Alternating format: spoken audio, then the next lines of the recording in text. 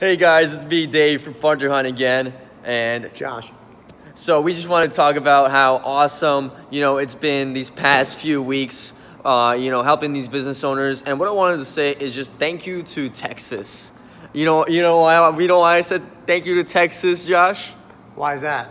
You know, because um, really, I, I, I deal with so many so many people in Texas, and really the majority of them. I mean, Truckers? I, mean, I, I, I would say that there's a more more consideration of, of or, or, or saturation of construction companies, which I'm not saying is a bad thing, but construction companies are great for you know improvements in the in the sector in in our you know Texas land. So I just wanted to shout that out, and we just we just funded our biggest deal.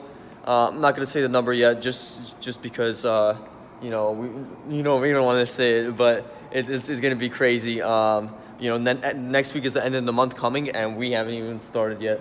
You know what I mean? All right, guys. Talk to you soon. Thanks for watching. Peace. FunderHunt.co.